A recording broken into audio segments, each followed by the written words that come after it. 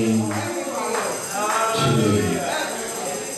There comes a time in our life that you have to let the Lord know that He's everything to you. I know that there's a lot of things that's going on. There, there seems to be a lot of different priorities in our lives. But the reality is, God is. Everything to me. Uh, and not should be everything to me, but he should be everything to you. Uh, every single one of you today, under the sound of my voice, is here because of the grace and mercy of God. Uh, not nothing, not nothing that you did, not because you look so good, not because you worked so hard, but because of the grace and mercy of God are you here today. Uh, whether you save or not, whether you want to acknowledge him or not, Christ died for the saved and the unsaved. So, so, so whether or not you say, well, I'm not living right, I'm not confessing right, he still died for you.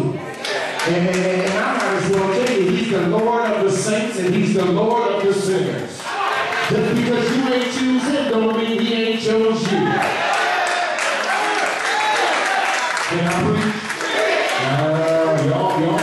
another direction. Praise God. Stand with me real quick if you can. I just want to read a couple passages of scripture.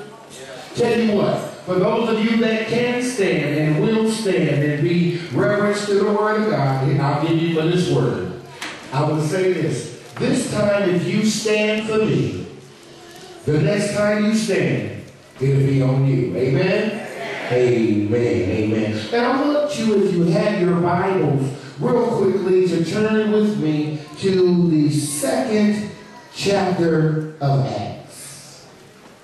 And I want to look at um, verse, I want to start at verse 12. We're at Acts chapter 2. If you have that, say amen. If you're not there, say, hold up, Pastor. I got you, I got you. I know, Pastor, no. Praise God. Acts chapter 2. We're going to start reading at verse 12.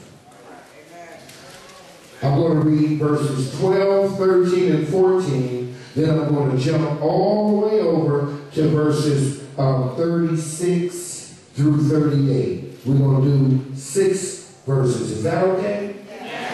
Acts chapter 2, starting at verse 12. If you have that, say amen. amen. If you don't want to say amen, say show you right. All right. You got it? Praise God. Everybody's feeling good. The amens got it. The you right's got it. Now everybody got it. Amen? Praise God. Acts chapter 2, starting at the 12th verse. Here's what it says. It says, And they were all amazed and were in doubt, saying one to another, What meaneth this? Others mocking said, These men are full of new wine. Another word for what they're saying is, These men are drunk. Amen.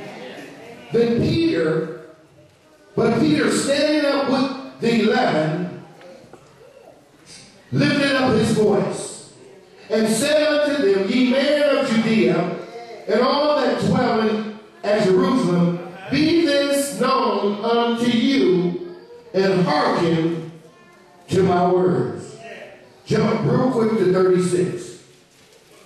Still chapter 2, but 36. It says, Therefore let all the house of Israel know assuredly that God had made that same Jesus whom ye have crucified, both Lord and Christ. Here we go. Now when they heard this, they were pricked in their heart.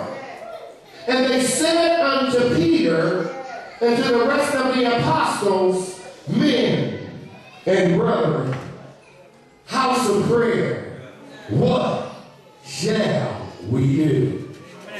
Then Peter said unto them, Repent and be baptized every one of you in the name of Jesus Christ for the remissions of your sins, and ye shall receive the gift of the Holy Ghost. Let us pray. Father God, we thank you today for your word. Now, oh God, we need you to show up that Stacey Jenkins might decrease and the power of God will increase. Father, we ask that you would illuminate the text, God, that you would think through my mind and you would speak through my mouth words of wisdom and words of life that can encourage this, your people, God. We ask that you let the words of my mouth and the meditation of my heart be acceptable in thy sight, O Lord, my strength and my redeemer. In Jesus' mighty name, amen. You may be seated in the presence of the Lord. Men and brethren,